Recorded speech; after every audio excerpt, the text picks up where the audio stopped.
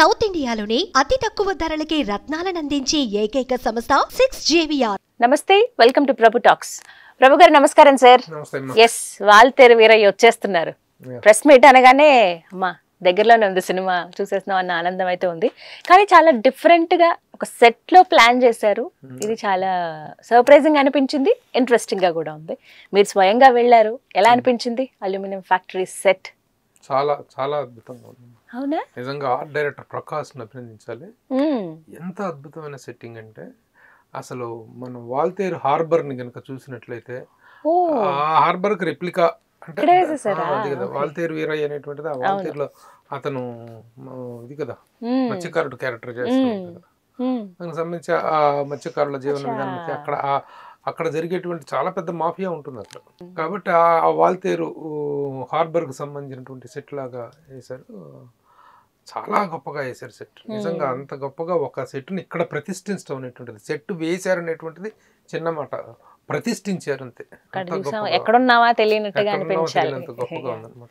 చాలా heavy equipments కానీ అక్కడ పడవలు పెద్ద పెద్ద పడవలు పెద్ద పెద్ద స్టే లాంచీలు. అక్కడ ఆగినట్టు అక్కడ వాటర్ ఎఫెక్ట్ వాటర్. పడుతున్నట్టు దాంట్లో నుంచి వాటర్ లీక్ అవుతున్నట్టు. Natural effect. న్యాచురల్ నిజంగా అక్కడ కనుక మనం చూసినట్లయితే ఎట్లా ఉంటుందో అంత న్యాచురల్గా దించేటటువంటిది really hats off to the art director. Prakash Prakash అండి పేరు. నైస్ చాలా పెద్ద సినిమాలు చేశాడు తన ఆర్ట్ డైరెక్టర్ చాలా చాలా మంచి. పేరు తనకి. అయితే వెరీ కామ్ గోయింగ్ పర్సన్ దాని గురించి మాట్లాడమంటే అందరికీ థ్యాంక్స్ థ్యాంక్స్ అని చెప్తారు. అంత మించి ఆ నోట్లోంచి పల్లెత్తు మాట రాదు. But he doesn't speak but his work speaks a lot అది మాత్రం అభినందించాల్సిన విషయం. రైట్ ఇక ప్రెస్ మీట్ విషయాలే వస్తే చిరంజీవి గారు అదరగొట్టేశారు మరొకసారి. వారి స్టైల్ ఆఫ్ స్పీచ్ తోటి.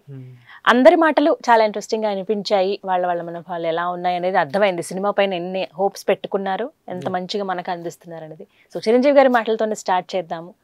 ఓ, ఎలా అనిపించింది? అంటే వారు మాట్లాడినప్పుడు how much confident he's about the film అని అంటే ఏం చెప్తారు? అంటే మామూలుగా చిరంజీవి గారు ఎప్పుడు సినిమా ప్రీ రిలీజ్ ముందు ఎప్పుడు కూడా సినిమా గురించి బూస్ట్ గాను గొప్పగాను మాట్లాడుతుంటది ఇన్ని సంవత్సరాల చరిత్రలో ఎప్పుడు లేదు ఇప్పుడు మాట్లాడలేదు. ఇప్పుడు కూడా ఆయన సినిమా ఆహా ఓహో అనేటువంటి స్థాయిలో ఏం మాట్లాడలేదు. మ్మ్. అంటే వాళ్ళు ఎంత కష్టపడి పనిచేశారు ఎంత how much they applied themselves to the cause of success అనేటువంటిదే మాట్లా అనేటువంటి ఒక కాన్ఫిడెన్స్ వాళ్ళు చేసినటువంటి హార్డ్ వర్క్కి.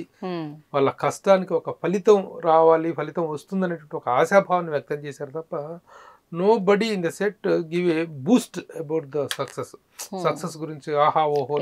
అద్భుతాలు అనేటువంటి పెద్దగా మాట్లాడలేదు ఎవరు కూడా.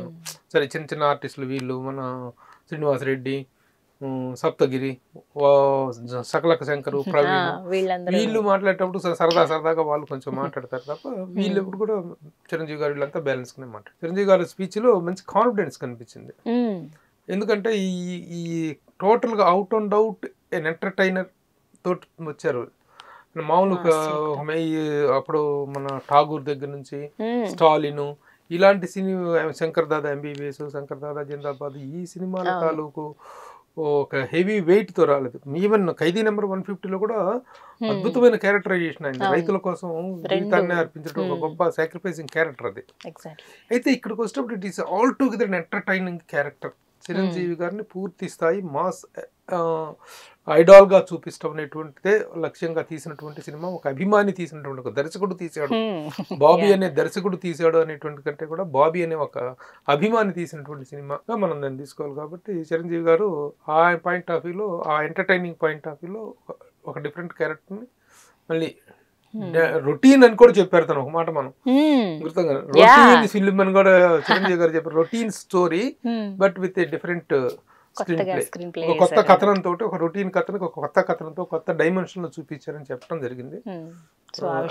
కాన్ఫిడెన్స్. లెవెల్స్ కనిపించినాయి. చిరంజీవి గారి కష్టపడిన కష్టానికి అండ్ మీరు అడిగిన ప్రశ్నకి అంటే ప్రత్యేకించి రెండు పెద్ద సినిమాలు ఒకే నిర్మాణ సంస్థ నుంచి వస్తున్నాయి. మరి ఆ ప్రశ్నకి చిరంజీవి గారు ఇచ్చిన సమాధానం అంటే మీకు ఎలా అనిపించింది సాటిస్ఫైడా ఎక్స్పెక్ట్ చేశారా? అలా అని ఏమనుకుంటున్నారు? అంతేగా. ఆయన చాలా మంచి మాట ఒకటి అన్నారు. నిర్మాణ నిజంగా ఇది మాత్రం it is the first of its kind in the history of cinema cinema చరిత్రలోనే ఇన్ని సంవత్సరాల నూరు సంవత్సరాల పైన పట్టిన సినిమా చరిత్రలోనే ఒకే నిర్మాణ సంస్థ నుండి.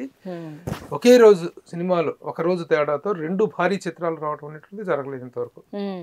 ఏ ఇదిలోనూ జరగలేదు. అలాంటిది ఇది ఫస్ట్ టైం. జరుగుతుంది. A remarkable point.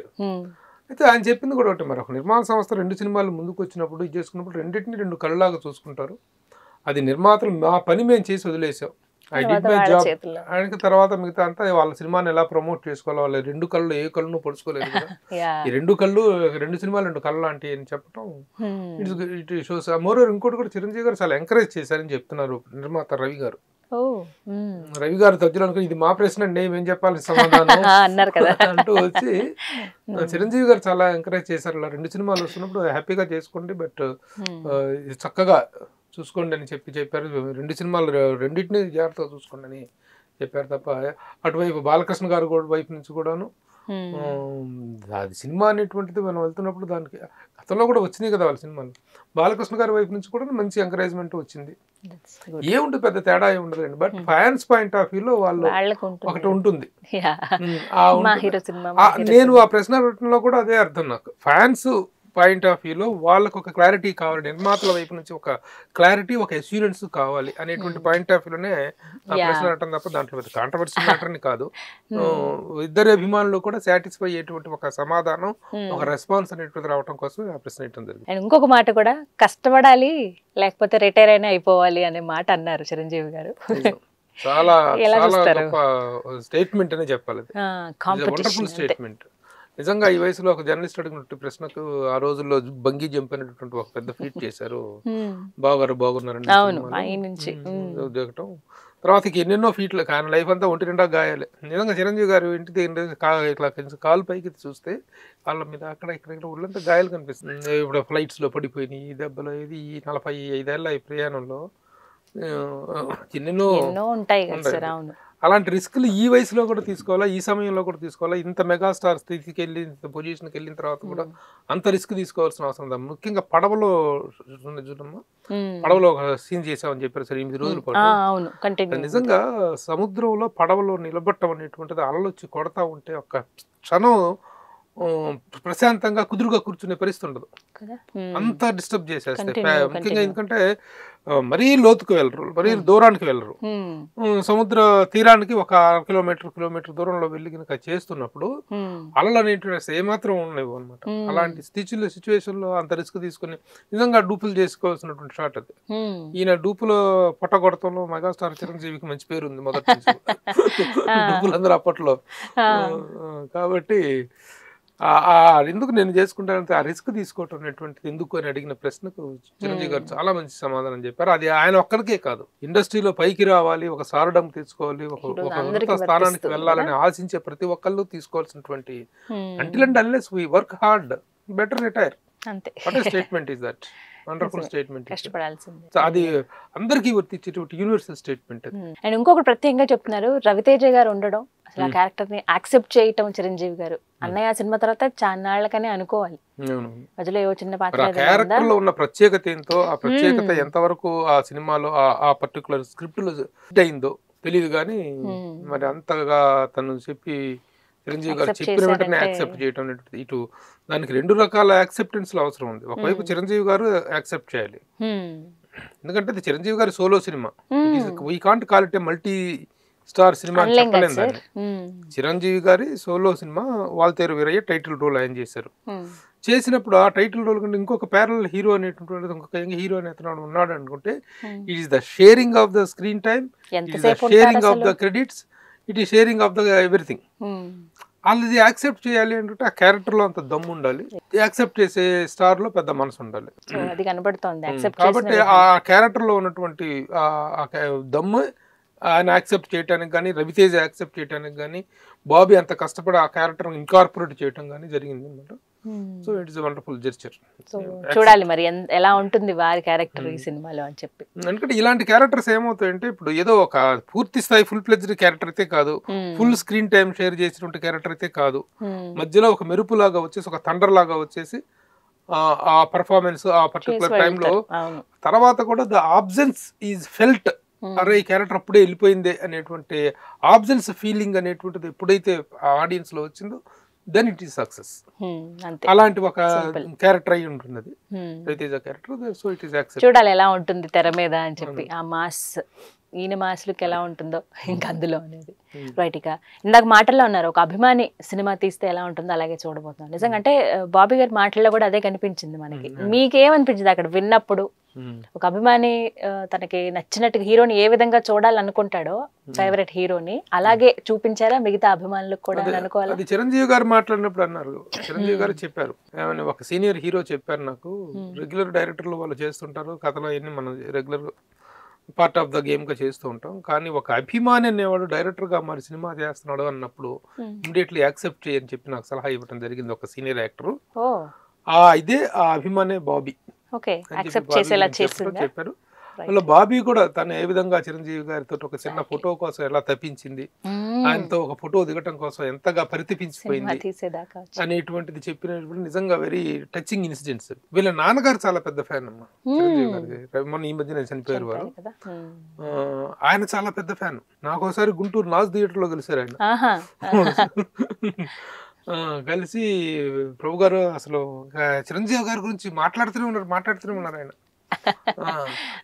అదేంటి ఈ కుర్ర ఫ్యాన్స్ మాట్లాడతారు చూసారా. కొత్తగా చొక్కాలు దించుకొని ఇది చేసుకొని మాట్లాడే ఫ్యాన్స్ మాట్లాడుతున్నారు నేను షాక్ నేను. ఆయన అంత ఆ వయసులో కూడా అభిమానం ఉన్నట్టు అలా గ్రో అవటం విషయం అట్లాగే రవి బాబీ.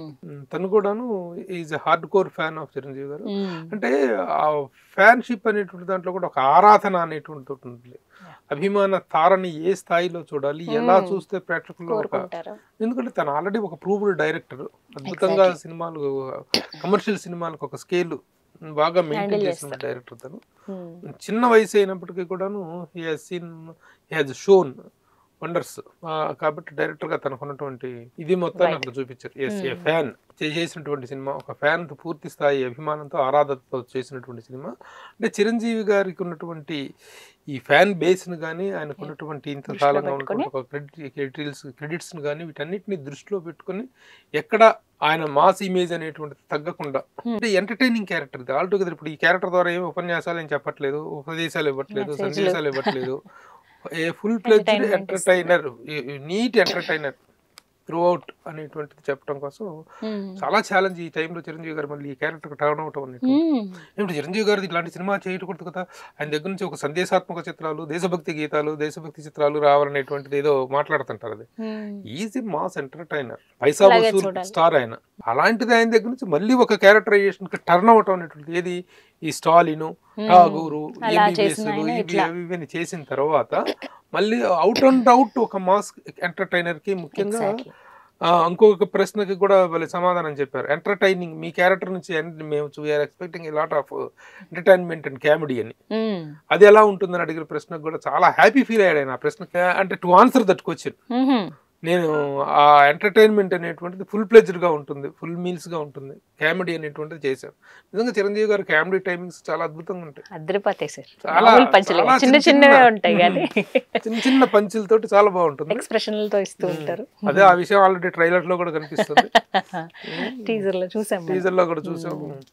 ఆ సాంగ్లో కూడా subscribe- style share subscribe and dialogue ఇలాంటి ఎంటర్టైన్మెంట్ ధమాకా ఇంకా ఇంకా కావాలంటే share subscribe and please like share and subscribe like share and subscribe dialogue అలాంటి ఒక ఎంటర్టైన్మెంట్ అనేటిది ఉంది అనేటువంటి విషయం చిరంజీవి గారు చాలా ఆనందంగా చెప్పారు. మిగతా అంతా ఆయన పెద్దగా అది ఆహా ఓహో అని చెప్పలేదు. ఈ విషయంలో మాత్రం కొంచెం పొంగిపోయి ఆనందపడి సమాధానం చెప్పారు. సో ఓవరాల్గా ఒక వాల్తేరు వీరయ్య అనేటువంటిది జనవరి పదమూడున రాబోతున్నటువంటి థర్టీన్త్ థర్టీన్త్ సో ఇంకా ప్రీ రిలీజ్ ఈవెంట్ ఏమన్నా అదే వైజాగ్లో ప్లాన్ చేశారు అక్కడే. జనవరి ఎయిత్ న ఓ.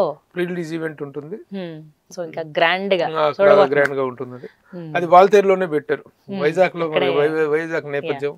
అందులో ఉత్తరాంధ్ర యాసలో ఈయన మాట్లాడటం. ఇదంతా. ఆ నేటివిటీ రిలేషన్ ఉంది కాబట్టి అక్కడ చేస్తున్నారు భారీ given a very good pre look about the film pre feed about the film ఏవి మాట్లాడినట్టుగానే ఉన్నారు. కానీ సినిమా గురించి ఇంట్రెస్టింగ్ విశేషాలు అవన్నీ బాగా ఎంటర్టైనింగ్గా జరిగింది ప్రెస్ మీట్ కూడా ఎస్ సో పాటలు కూడా సూపర్ హిట్ అయిపోయాయి sir Where is the party? Where is the party ఒకటి? మిగతా ఆయన టైటిల్ సాంగ్ ఒకటి. చంద్రబోస్ శ్రీదేవి. చంద్ర రాసిన టైటిల్ సాంగ్ అన్ని కూడా బాగా ఎస్ మొత్తం మీద వెయిటింగ్ అంతే మనం కూడా. ఫుల్ మీల్ ఎంటర్టైనర్ ఇది ఫుల్ మీల్. కాదు ఇంటికి గ్యారేజ్లో కూడా తీసుకెళ్ళచ్చు అని కూడా బాబీ అన్నాను రైట్ సో బెస్ట్ విషెస్ అందించేద్దాం మరి వాళ్ళ బట్. అట్ ద ఎండ్ మాత్రం చెప్పాల్సింది Hmm. Hearty congratulations to the production house Mythri movie makers. రెండు భారీ. చిత్రాలను ఒకేసారి తెర మీద తీసుకొచ్చే ట్రాక్ చాలా సమర్థవంతంగా. చాలా సమర్థవంతంగా రిలీజ్ చేస్తున్నారు. హెడ్స్ ఆఫ్ టు ఖచ్చితంగా మెచ్చుకోవాలి కూడా. ఆల్రెడీ ఇంకొక మాట కూడా అన్నారు చిరంజీవి గారు. ఆ రోజున వచ్చినటువంటి హిట్లర్ పెద్దన్నయ్య. రెండు చిత్రాలు ఆ రోజున రిలీజ్ అయినాయి. ఇప్పుడు ఈ రెండు సినిమాలు బాలకృష్ణ గారి సినిమా మీరు అంటే చరిత్ర పునరావృతం అవుతుంది అన్నారు. ఆ రోజున ఆ రెండు హిట్ అయినాయి. హిట్ ఇప్పుడు ఈ రెండు కూడా హిట్ అవుతాయి అనేటువంటిది ఎస్ చెప్పారు. అలాగా చరిత్ర పునరావృతం కావాలని ఆశిద్దాం.